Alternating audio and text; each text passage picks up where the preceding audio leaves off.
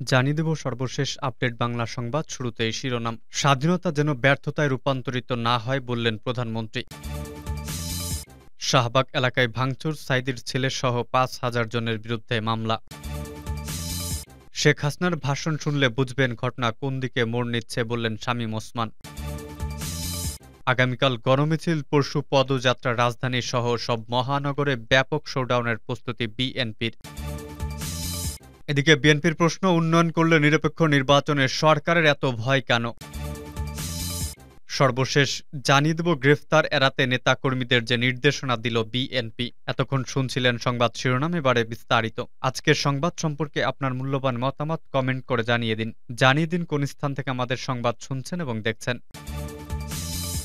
স্বাধীনতা যেন ব্যর্থতায় রূপান্তরিত না হয় বললেন প্রধানমন্ত্রী। প্রধানমন্ত্রী শেখ হাসিনা নির্দেশ দিয়ে বলেছেন, জাতির পিতা যে স্বাধীনতা এনে দিয়েছেন, সেটা যাতে ব্যর্থতায় রূপান্তরিত না হয়, সেদিকে সবাইকে লক্ষ্য রাখতে হবে। আজ বৃহস্পতিবার গণভবন থেকে প্রধানমন্ত্রী শেখ হাসিনা ভিডিও কনফারেন্সের মাধ্যমে সর্বজনীন পেনশন স্কিমের উদ্বোধন অনুষ্ঠানে সংযুক্ত হয়ে কথা বলেন। শেখ হাসিনা বলেন, শোকের মাসেই আমরা এই পেনশন স্কিম উদ্বোধন করছি, কারণ আমরা পিতা হয়তো দেখবেন, তিনি খুশি হবেন, তার প্রিয় দুঃখী মানুষের মুখে হাসি ফোটানোর জন্য আমরা সর্বজনীন পেনশন চালু করেছি। এতে তাদের অর্থনৈতিক সুরক্ষা থাকবে, কারও কাছে হাত পাততে হবে না। তিনি বলেন, জাতির পিতা হত্যার পর দেশের অবস্থা এমন করা হয়েছিল, না ছিল ভোটের অধিকার, না ছিল ভাতের অধিকার। আমরা সে অবস্থার পরিবর্তন করতে চেয়েছি। সে লক্ষ্যে কাজ করছি, মনে রাখবেন। জাতির পিতা যে স্বাধীনতা এনে দিয়েছে, সেটা যাতে ব্যর্থতায় পর্যবসিত না হয়। সরকার প্রধান বলেন, বাংলাদেশের উপর দিয়ে অনেক ঝড় বয়ে গেছে। একদিকে করোনা, অন্যদিকে রাশিয়া ইউক্রেন যুদ্ধ। এরই মধ্যে মিলিটারি ডিক্টেটরদের হাতে গড়া দলের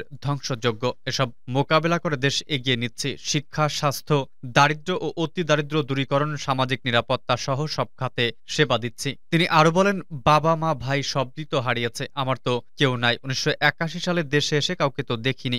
যারা আমায় বিদায় দিয়েছে, কিন্তু আমি পেয়েছি এদেশের মানুষকে আমার পাশে। আমি মনে করি এদেশের মানুষই আমার আপনজন। এদেশের প্রতিটি মানুষের জীবনকে অর্থবহ করে তাদের জীবনমান উন্নত করতে চাই। আমার বাবারও এটি লক্ষ্য ছিল।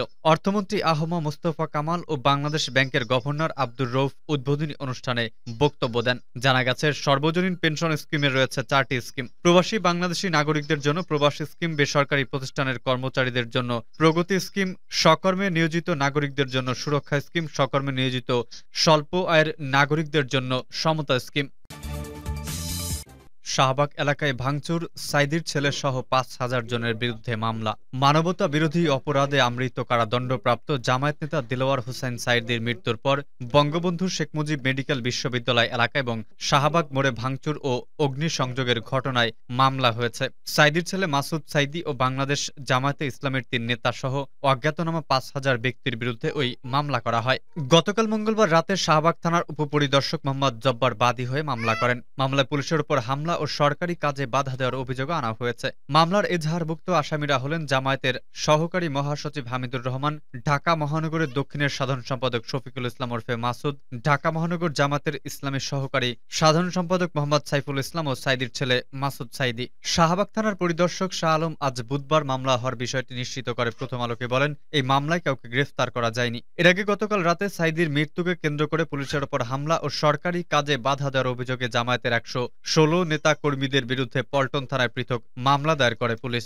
মামলার এজাহার সূত্রে জানা যায় দিলর হোসেন সাইদি গত সোমবার রাতে বিএসএমএমইউ হাসপাতালে চিকিৎসাধীন অবস্থায় মারা যান। সেই খবরে জামাত শিবিরের হাজারো নেতাকর্মী রাতেই বিএসএমএমইউ ও শাহবাগ এলাকায় ভিড় করেন। তারা বিভিন্ন ধরনের উস্কানিমূলক স্লোগান দেন। এক পর্যায়ে মিছিল করে তারা শাহবাগ থেকে বাংলা মোটর ও শাহবাগ মৎস্য ভবনের মোড় পর্যন্ত যান চলাচল বন্ধ করে দেয়। এ সময় শাহবাগের বারডেম ও বঙ্গবন্ধু মেডিকেল থেকে চিকিৎসা নিতে আসা রোগীরা আটকা পড়েন। পুলিশ তাদের রাস্তা ছেড়ে দেওয়ার অনুরোধ করলে পুলিশের সঙ্গে মারমুখী আচরণ করেন তারা। সড়ক না ছেড়ে তারা সরকার ও রাষ্ট্র বিরোধী স্লোগান দিতে থাকেন। গতকাল ভোরের দিকে সাইদির মরদেহ পিরোজপুরে তার নিজ বাড়িতে নেওয়ার সময় জামাত শিবিরের নেতাকর্মীরা ইটের টুকরো, লাঠিসোটা ও রড নিয়ে পুলিশের উপর হামলা চালান এবং সরকারি কাজে বাধা দেন।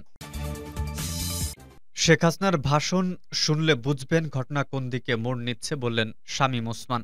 নারায়ণগঞ্জ চার আসনের সংসদ সদস্য A K M Shamim Osman বলেছেন, প্রধানমন্ত্রী শেখ হাসিনা যে ভাষণ দিয়েছেন, সেটি দেখলে ঘটনা কোন দিকে মোড় নিচ্ছে বোঝা যাবে। তিনি বলেন, বঙ্গবন্ধুকে হত্যার পরে আমাদের কৈশোর হারিয়ে গেছে। সেদিন থেকে বাংলাদেশ পেছনে যেতে থাকে আমাদের।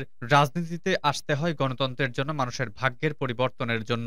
বৃহস্পতিবার দুপুরে ফতুল্লায় নয় নম্বর ওয়ার্ডে জাতীয় শোক দিবস উপলক্ষে আয়োজিত এক আলোচনা সভায় অংশ নিয়ে তিনি সব কথা বলেন। শামীম ওসমান বলেন, শেখ হাসিনা মাত্র একত্রিশ বছর বয়সে আওয়ামী লীগের হাল ধরেছিলেন। ওরা কিন্তু ক্ষান্ত হয়নি। জাতির জনকের কন্যাকে বাইশ বার হত্যা করার চেষ্টা করা হয়েছিল। নারায়ণগঞ্জে দুই হাজার এক সালে বোমা ব্লাস্ট হয়েছিল। তখন একটা কথাই বলেছিলাম, শেখ হাসিনাকে বাঁচান, কারণ আমি মারা গেলে কিছু হবে না। শেখ হাসিনা না থাকলে মানুষের স্বপ্ন পূরণ হবে না। তিনি বলেন, পনেরো আগস্ট শুধু বঙ্গবন্ধু পরিবারকে হত্যা করা হয়নি। হত্যা করা হয়েছিল আমাদের স্বপ্নকে। আমরা যারা রাজনীতি করছি, আমাদের রাজনীতি করার কথা ছিল না। বঙ্গবন্ধু বেঁচে থাকলে দেশটা অন্যরকম থাকত। জাতির পিতা বঙ্গবন্ধু শেখ মুজিব বলেছিলেন, তিনি, আমি পাকিস্তানের প্রধানমন্ত্রিত্ব চান না, মানুষের অধিকার চান। তিনি সারা জীবন জেলে কাটিয়ে জনগণকে স্বাধীনতা এনে দিয়েছিলেন। পাকিস্তানিরা তাকে হত্যা করতে পারেনি, কিন্তু মোশতাক জিয়াউর রহমানরা ওরা পেছন থেকে কলকাঠি নেড়ে জাতির জনককে হত্যা করেছে।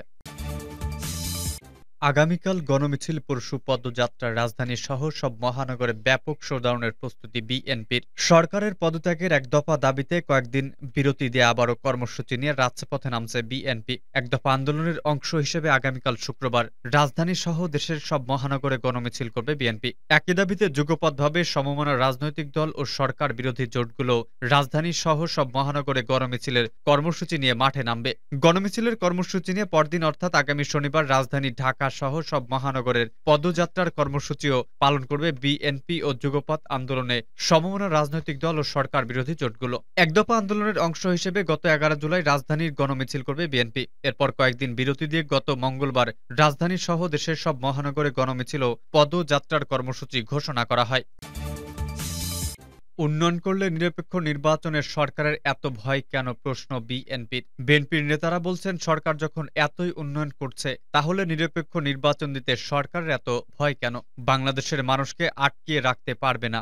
সরকারকে পদত্যাগ বাধ্য করবে দেশের মানুষ। খালেদা জিয়াকে ভয় পায় বলেই সরকার তাকে কারারুদ্ধ করে রেখেছে। বিএনপির চেয়ারপারসন বেগম খালেদা জিয়ার জন্মদিন উপলক্ষে তার সুস্থতা কামনায় পল্টনের কেন্দ্রীয় কার্যালয়ে মিলাদ ও দোয়া মাহফিলের আয়োজন করে জাতীয়তাবাদী ছাত্রদল। এতে বিএন বিএনপির স্থায়ী কমিটির সদস্য ড আব্দুল মঈন খান অভিযোগ করেন, বঙ্গম বেগম খালেদা জিয়াকে প্রতিহিংসার কারণে আটকে রেখেছে সরকার। গণতন্ত্রের লেবাস পরে সরকার একদলীয় শাসন কায়েম করছে বলে অভিযোগ করেন তিনি। এদিকে বেগম খালেদা জিয়ার মুক্তি ও সুচিকিৎসার দাবিতে রাজধানীর নয়াপল্টন এলাকায় লিফলেট বিতরণ করে ঢাকা মহানগর উত্তর দক্ষিণ বিএনপি। সাধারণ মানুষের হাতে লিফলেট তুলে দেন দলের নেতারা। ঢাকা মহানগর দক্ষিণ বিএনপির আহ্বায়ক আব্দুল সালাম অভিযোগ করেন, বিশেষজ্ঞরা বেগম জিয়াকে উন্নত চিকিৎসার জন্য বিদেশে নেওয়ার কথা বারবার বললেও সরকার তাতে কর্ণপাত করছে না। সরকারের বিদায়ে সবাইকেই রাজপথে নেমে আসার আহ্বান জানান বিএনপির নেতারা। গ্রেফতার এড়াতে নেতাকর্মীদের যে নির্দেশনা দিল বিএনপি। নেতাকর্মীদের গ্রেফতারে আইন শৃঙ্খলা রক্ষাকারী বাহিনী এবার কৌশল পরিবর্তন করেছে বলে দাবি বিএনপির। এক দফা আন্দোলনে রাজপথে যারা মূল ভূমিকা পালন করেছেন, তাদের টার্গেট করে নীরবে আটক করা হচ্ছে। যুক্তরাষ্ট্রের ভিসানীতি ঘোষণা, জাতিসংঘ সহ বিভিন্ন মানবাধিকার সংস্থার কঠোর সমালোচনার পর এমন কৌশল নিয়েছে বলে মনে করছে দলটির নেতারা। গ্রেফতারের বিষয়টি যাতে সব মহলে আলোচনায় না আসে, সেজন্য সিনিয়র নেতাদের আপাতত আটক বা হয়রানি করা হচ্ছে না। প্রতিদিন মাঝারি বা নিচের সারির নেতারা গ্রেফতার হওয়ায় গণমাধ্যমেও তার গুরুত্ব দিয়ে প্রচার বা প্রকাশ হচ্ছে না। ফলে এ নিয়ে আইন শৃঙ্খলা রক্ষাকারী বাহিনীকেও পড়তে হচ্ছে না কোনো সমালোচনায়। আইন শৃঙ্খলা রক্ষাকারী বাহিনীর এমন কৌশল সম্পর্কে মাঠের সক্রিয় নেতাদের সতর্ক করা হচ্ছে। একা না চলতে দেওয়ার পরামর্শ দেওয়া হয়েছে। কর্মসূচির আগের রাতে নিজ বাসায় না থেকে নিরাপদ স্থানে থাকতে বলা হচ্ছে। হাইকমান্ডের এমন নির্দেশ পেয়ে গ্রেফতারের রাতে তারা সতর্কভাবে চলাফেরা শুরু করেছেন।